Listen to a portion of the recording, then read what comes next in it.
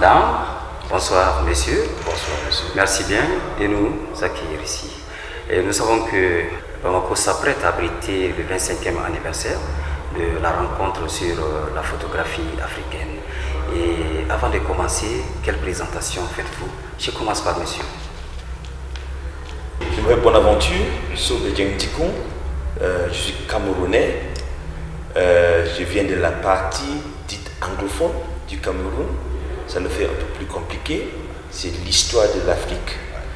Euh, je suis directeur artistique de cette édition de la Binale, qui est euh, la deuxième édition. Et avec cette édition, on fête les 25 années de cette euh, qui est tellement important pour l'Afrique. Pas seulement pour l'Afrique, c'est l'un des, des la photographie les plus importante du monde. Et euh, quand Igor Diarra m'a demandé de faire une proposition, euh, j'ai écrit un projet sur les courants de conscience. Et euh, en fait, je voulais bien travailler avec les photographes africains, des photographes du monde africain, des photographes qui viennent de partout du monde, mais qui sont les Africains? Et, euh, et en posant une question tellement importante, pas ce que veut dire la photographie, mais ce que la photographie peut faire dans notre temps. Ce que la photographie a fait historiquement. C'était quoi le rôle de la photographie dans le processus de la décolonialisation? Et aujourd'hui même, c'est quoi le rôle de la photographie dans nos sociétés? Comment la photographie peut euh, raconter nos histoires Donc, en pensant euh, de ce courant de conscience, euh, je voulais un peu voir ce qui tire l'attention des photographes et comment cette information et cette pièce artistique peut transmettre les savoirs, les savoirs de nos sociétés. Euh, et pour le faire, je ne voulais pas le faire seul. Je ne peux pas le faire seul. Je voulais en- entrer en discussion avec les curateurs, les curatrices africaines. Et euh, j'ai invité euh, trois co-commissaires pour travailler avec moi sur cette euh, euh, journey, s'appelle, cette Chemin. ce chemin. Oui, et on est au milieu de la préparation. On est là, ça fait quelques jours. Euh, on a vu quelques lieux ici à Bamako. On a parlé avec beaucoup de personnes. Euh, surtout pour essayer de voir comment montrer la photographie, comment amener les gens dans les musées, mais aussi amener les musées vers les gens. De sortir la photographie, de, de le montrer dans les institutions, mais aussi de les montrer dans la quotidien. D'attirer les publics différents. De parler avec les gens différents dans la société. Donc, euh, c'est un peu ça, euh, une introduction. D'accord. Euh, Vous avez touché à un point très important, c'est le rôle de la photographie dans le reflet des sociétés africaines. Comment voyez-vous aujourd'hui ce passage de la photographie, la compréhension, n'est-ce pas, de la population Oui. On- on vit dans un temps où tout le monde peut s'appeler photographe. Mais ce n'est pas tout le monde qui est photographe. Ça veut dire qu'on produit les images, mais des fois, on ne regarde même pas. Donc, c'est un processus de réapprendre à regarder. Ça veut dire que l'artiste photographe peut nous apprendre à regarder parce qu'il voit des choses que nous, peut-être, on ne peut pas voir. Donc c'est ça, c'est engager avec ce processus de regarder. Et regarder vous dit bien écouter, bien percevoir la société. Mais euh, on est toujours en train de... C'est une négociation. Donc travailler avec de l'art, c'est pas seulement la photographie, mais tous c'est une négociation entre les artistes et les pièces d'art, mais surtout aussi entre les pièces d'art et les gens qui le regardent, l'audience. Donc c'est cette négociation. Merci. J'aimerais aborder le débat maintenant avec euh, Madame. Alors, la question du genre va se poser, n'est-ce pas, au cœur de cette euh, rencontre sur la photographie. Comment voyez-vous alors la femme et la photographie? Quand on sait que très peu de femmes sont dans ces domaines-là Alors écoutez, en réalité c'est une question qui est très intéressante dans le sens où c'est une question qui revient assez fréquemment et qui pourtant en cache une autre qui est encore plus importante. Euh, on pense à tort que la femme n'est euh, pas très présente dans ce médium-là. Ce n'est pas une réalité. Il faut savoir que le médium photographique, il existe, c'est un médium qui est assez récent. Et pendant des siècles, la femme n'a pas eu l'opportunité de s'exprimer à travers les arts. Et euh, en tout cas, moins que les hommes. Et très récemment, c'est un droit que les femmes se sont octroyés et beaucoup de femmes, comme euh, c'est le cas aussi pour la performance, euh, ont décidé d'investir ce médium-là. Et euh, la vraie question en réalité qui se cache là, c'est est-ce qu'on montre assez le travail des femmes? Voilà. C'est ça. Voilà. Parce qu'il existe énormément de femmes qui s'expriment à travers la photo, notamment sur le continent africain, et qui travaillent dans différents univers, que ce soit l'univers de la mode, la photographie de mode, excusez-moi, la photographie documentaire ou de, de toutes simples formes d'expression artistique, euh, euh, parfois hybrides même. Donc nous, c'est une question effectivement que Bonaventure, le directeur artistique des rencontres, s'est posée euh, dès le début pour lui, il avait un intérêt particulier pour euh, la présence des femmes dans cette biennale. Et en fait, on s'est rendu compte que c'était euh, une question, la question de la femme dans la photographie s'imposait. On a eu énormément de, candidatures euh, d'artistes photographes africaines issues du continent et de la diaspora.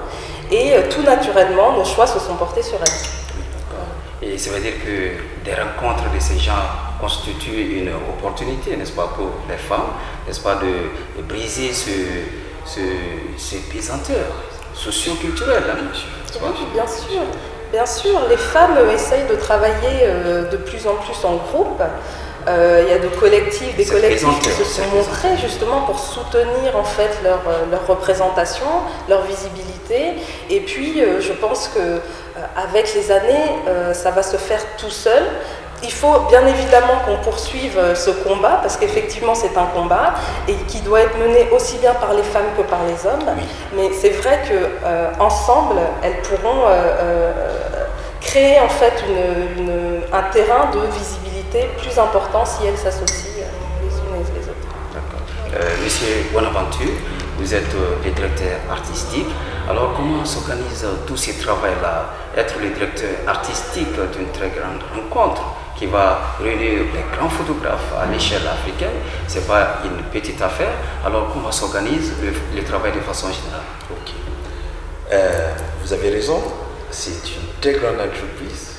Et la première chose, c'est que pour le faire, on a besoin d'une bonne équipe.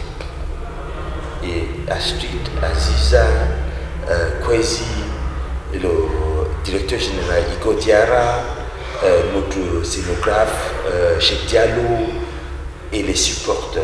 Surtout euh, la responsabilité de l'État, surtout l'État malien, de vouloir supporter ce projet. C'est énorme et c'est important. Ce qu'on a, on, a besoin, même parce que c'est, c'est une binale qui n'est pas limitée au, Mali. Le Mali est le, euh, ça s'est fait ici, euh, à Bamako, mais c'est une pinale panafricaine. Ça veut dire que normalement, tous les pays et tous les politiciens africains devaient s'engager dans ce projet. Ce n'est pas seulement le Mali, et pas seulement l'Institut français qui le fait, mais tous les Africains, tous les pays africains. Et ça, c'est un message que, je suis en train de, de passer avec cette vidéo, que c'est notre responsabilité de le faire, pas laisser à les autres de le faire pour nous. Donc c'est ça. Donc il faut se bien organiser, on a besoin d'une bonne équipe, on a besoin de beaucoup d'argent, parce que à la base de tout, on ne peut pas être indépendant sans savoir notre culture. On ne peut pas. Donc tout le reste, les sciences, la technologie, se construit sur la culture. Donc si on n'a pas euh, un fondament très fort de la culture, ça veut dire qu'on construit sur le sable. C'est ça. Donc on est en train de faire et surtout de réinventer cette pinale. Ça veut dire qu'après 25 ans, il faut poser les questions. Qu'est-ce qu'on a fait jusqu'à maintenant? Comment ça a marché? Comment on peut... C'est une évaluation aussi. Comment on peut le refaire? Donc c'est ça qu'on a train de faire. Donc c'est une responsabilité énorme. Et pour le faire, on a besoin de l'argent pour le faire et le support de l'État. Bien. Euh, la commissaire, la co-commissaire, cette fois-ci va intervenir. Alors, les choix des photographes à l'échelle africaine, ce n'est pas chose facile. Qu'est-ce qui est fait à l'interne pour choisir X ou Y afin qu'ils viennent à ces rendez-vous aussi importants Écoutez, là, il y a eu un, comité de sélection qui s'est réuni, qui a été présidé par le, directeur artistique Bonaventure, mais également par le délégué euh, euh, général des rencontres, avec toute une équipe qui a été mise en place, les co-commissaires qui ont été mentionnés tout à l'heure, et puis deux conseillers curatoriaux qui sont des photographes, un malien qui s'appelle Saïdou, et un deuxième euh, euh, photographe euh, issu du monde anglophone qui s'appelle Akin Baudet. Et, et, ensemble, il y a eu une réflexion autour de l'ensemble des candidatures et pour essayer de montrer un petit peu non seulement ce qui se fait sur le continent africain, mais il ne faut pas oublier ce qui se fait aussi au sein des diasporas. Et c'était vraiment intéressant. Et sans même s'arrêter là, il faut aussi penser en fait en termes de d'identité africaine. Qu'est-ce que c'est aujourd'hui l'identité africaine? Ça ne se résume pas à une géographie, ça ne se résume pas à un territoire ou au continent même africain, ça, s'étend au-delà des frontières. Historiquement, les Africains euh, ont pénétré des territoires autres que celui du continent. Ils sont aujourd'hui aussi bien en Europe qu'en Asie, qu'en Océanie, qu'en Amérique latine ou euh, du Nord. Et c'est une histoire qui fait partie également de la nôtre. Donc on essaye aussi de faire en sorte d'intégrer euh, ces autres territoires-là qui font partie de, notre histoire. Donc c'est d'autant plus important que euh, ces rendez-vous vont mettre sur la table, n'est-ce pas, l'identité africaine et cela sera perceptible sur les photos. L'identité et les savoirs africains. L'épistémologie africaine. Hein? Pas seulement l'identité. Il y a beaucoup de choses qui font l'identité, mais aussi les savoirs. Et ça sera visible dans les photos, dans les discours, entre les photos, dans les sessions, ce qu'on appelle les public programmes, les programmes publics qu'on va faire, les vidéos, les performances, donc beaucoup des autres formes de l'art qu'on va présenter aussi. Mais pour, pour, réfléchir sur les, thématiques qu'on a euh, proposées. D'accord.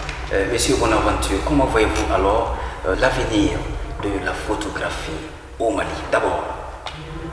L'avenir, comme le Mali c'est un pays de la photographie, comme vous savez. Oui ça veut dire que c'est bien évident que c'est une bonne avenir. Ça veut dire que euh, c'est clair que. Mais pour le faire, il faut euh, s'occuper de ce qui existe, des institutions qui existent.